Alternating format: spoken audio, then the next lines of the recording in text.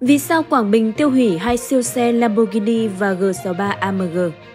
Mới đây, Hội đồng tiêu hủy tăng vật vi phạm hành chính tỉnh Quảng Bình đã tiến hành tiêu hủy hai phương tiện ô tô gồm siêu xe nhãn hiệu Lamborghini và G63 AMG. Trước đó vào tháng 8 năm 2020, Phòng Cảnh sát điều tra tội phạm về tham nhũng kinh tế buôn lậu chủ trì phối hợp với Phòng Cảnh sát giao thông Công an tỉnh Quảng Bình đón dừng kiểm tra ô tô mang biển kiểm soát 29H115XX do ông Trương Thanh Bình sinh năm 1968 trú tại phường Văn Quán, quận Hà Đông, thành phố Hà Nội điều khiển khi đang đi trên đường Hồ Chí Minh thuộc địa bàn huyện Bố Trạch, tỉnh Quảng Bình. Ở thời điểm kiểm tra, trên xe đang vận chuyển hai chiếc ô tô con mang nhãn hiệu Mercedes G63 AMG màu vàng, có biển kiểm soát 29A 519XX và Lamborghini Murcielago màu xanh cốm có biển kiểm soát 29U38XX.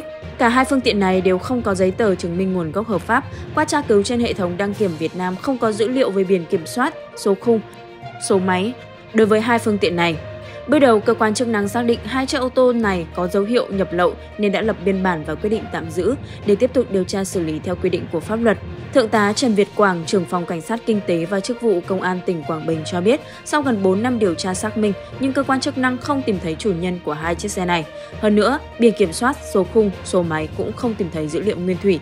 Công an Quảng Bình đã hỏi Cục Cảnh sát Giao thông và Cục trả lời là không đăng ký được, nên buộc phải tiêu hủy. Theo Thượng tá Trần Việt Quảng, nhiều chi tiết trên hai chiếc xe không còn nguyên bản của hàng chính hãng. Rất có thể hai xe này được dân buôn dựng lên từ các hãng xe phổ thông rẻ tiền khác. Trong lúc đó, qua hình ảnh mà Công an Quảng Bình công bố, một số dân chơi xe cho biết hai chiếc xe nói trên không còn nguyên bản mà được dân chơi độ lại. Đơn cử, cản trước của chiếc Lamborghini khá giống phiên bản nâng cấp giữa vòng đời của mẫu Murcielago LP640, ra mắt lần đầu tại triển lãm Geneva Motor Show năm 2006.